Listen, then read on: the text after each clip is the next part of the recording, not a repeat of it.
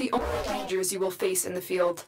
Avoid the lasers and defeat the enemies before the timer runs out.